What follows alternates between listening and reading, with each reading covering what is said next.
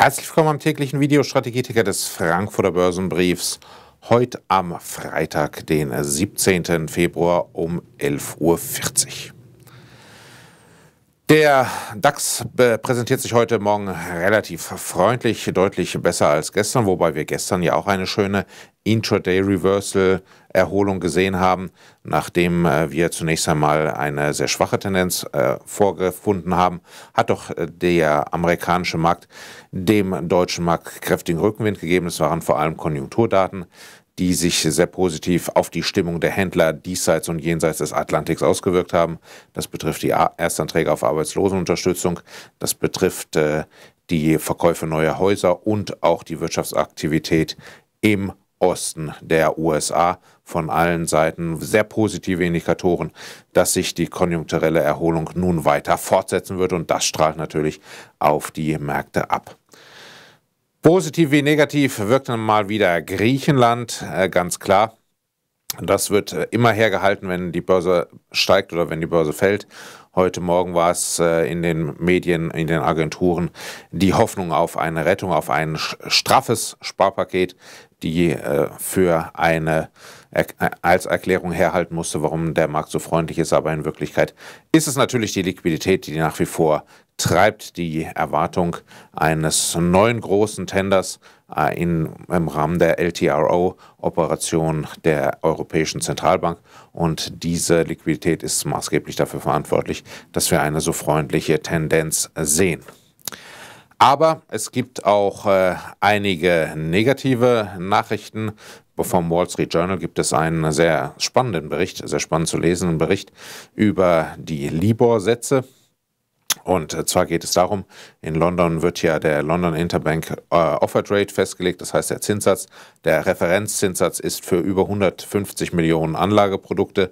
Das reicht vom Autokredit bis zur Unternehmensfinanzierung. Und hier wurde in der Vergangenheit stark geschummelt. Diese Verdächtigungen, die gab es schon öfter. Wir haben auch im Frankfurter Börsenbrief vor gut zwei Jahren schon mal darüber berichtet, äh, dass es hier Mutmaßungen gibt und dass, es, äh, dass wir Informationen hatten, dass hier gar nicht die tatsächlichen Zinssätze äh, vermeldet wurden an die Agentur, für die die Banken sich gegenseitig das Geld leihen, sondern dass hier Fantasiesätze genannt wurden und das hat sich jetzt bestätigt.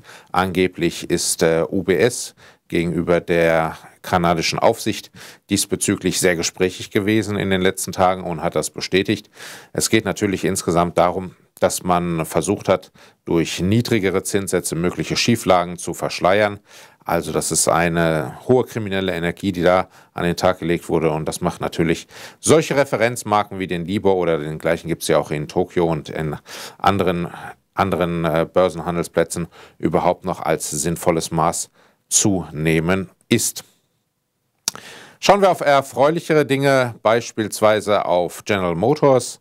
Die haben gestern über 9% äh, zugelegt. Sie haben den höchsten Gewinn in ihrer 103-jährigen Unternehmensgeschichte vorgelegt. Das muss man sich mal vorstellen. Vor einigen Jahren war General Motors pleite, die alten Aktionäre enteignet und jetzt äh, startet man typisch amerikanisch wieder durch, wie man das auch schon bei Fluggesellschaften erlebt hat, die auch aus der Pleite in einen neuen Steigflug übergegangen sind und das gleich bei General Motors. Wir haben natürlich gesehen, dass die Autokonjunktur in den USA hervorragend läuft ab und zu das ein oder andere Quartal auch an General Motors vorbei. Aber insgesamt ist die Entschuldung doch sehr erfolgreich verlaufen und äh, nun gibt es eine höhere Arbeitsplatzsicherheit und äh, General Motors ist wieder auf dem äh, aufsteigenden Ast. Für uns allerdings keine Empfehlung. Wir sind nach wie vor der Auffassung, dass man mit Überkapazitäten zu kämpfen hat, dass man die Modellpalette nicht rechtzeitig auf die Bedürfnisse der internationalen Kundschaft hat umbilden können. Und dann gibt es ja noch die Probleme mit der Tochter Opel. Also diese Strategie, die erscheint uns nicht ganz konsistent. Deswegen für unsere Begriffe General Motors zu spekulativ auf die mittlere bis langfristige Sicht, ähm, wenn die konjunkturelle Nachfrage jetzt wieder nachlassen sollte. Im Moment ist es sehr gut. Es werden sogar gar keine Incentives mehr gegeben, wie 0% Finanzierung oder ähnliches, was wir noch in den letzten Jahren immer gesehen haben. Aber wenn diese Nachfrage nachlässt, dann geht es General Motors auch ruckzuck wieder schlechter und dann stehen sie im Wettbewerb schlechter da als die asiatischen oder auch die deutschen Konkurrenten. Und deswegen General Motors aus unserer Perspektive, die ja auf die mittlere bis lange Sicht angelegt ist, kein Anlageasset, was sich unbedingt aufdrängt. Ein Anlageasset, was sich tatsächlich sehr stark aufdrängt, was wir auch des Öfteren schon im Frankfurter Börsenbrief in der Empfehlungsliste hatten und was wir auch aktuell führen, ist Baidu. Sie wissen ja, das ist der äh, größte Suchmaschinenanbieter in China. Dort äh, hat Google ja beispielsweise gar keine Rolle. Es ist im Grunde das Google Chinas mit 80 Prozent Marktanteil. Ein sehr beeindruckendes Wachstum, eine sehr beeindruckende Marge. Das wurde jetzt mit den neuesten Zahlen wieder unter Beweis gestellt. Äh, pro Aktie ergibt sich ein Gewinn von 95 Cent. 90 Cent hatten die Auguren erwartet. Das bedeutet eine Nettogewinnsteigerung um 77 Prozent auf 2,05 Milliarden Yuan. Und diese 2,05 Milliarden Yuan behalten Sie bitte mal im Hintergrund, wenn Sie die Marge aus, ausrechnen. 2,05 Milliarden Yuan bei einem Umsatz von 4,47 Milliarden Yuan. Umsatz plus 83 Prozent, sagenhafte Marge. Aktie ist natürlich nicht äh, ganz billig, aber man muss sagen, einen wieder sensationellen Quartalsausweis und äh, deswegen bleibt Baidu bei uns auf der Empfehlungsliste. Wer es noch ein bisschen heißer haben möchte, kann auch auf äh, andere Internetunternehmen in China schauen. Auch andere, die wir schon auf der Empfehlungsliste hatten, im Moment allerdings nicht, haben sich sogar besser entwickelt als Baidu. Baidu in diesem Jahr ungefähr 22 Prozent im Plus, 32 Prozent im Plus bisher die Sina oder 28 Prozent die Tencent. Das sind äh, Werte, die sich einer intensiven Prüfung tatsächlich aufdrängen. Wir überlegen im Moment, ob wir hier noch zusätzlich aufspringen.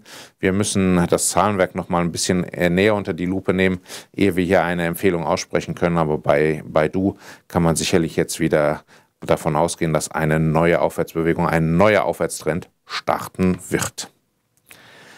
Das waren die Hinweise für diese Woche. Am Montag erscheint leider kein Videostrategieticker. Da ist Rosenmontag und äh, da wäre es nicht sinnvoll, in unserem Zustand dann tatsächlich einen Ticker zu besprechen. Wir sind aber am Dienstag natürlich wieder für Sie da. Walter Tissen wird Sie dann kompetent durch die Woche führen. Ich wünsche Ihnen ein fröhliches, vielleicht aber auch erholsames Wochenende, je nachdem, was Sie vorhaben.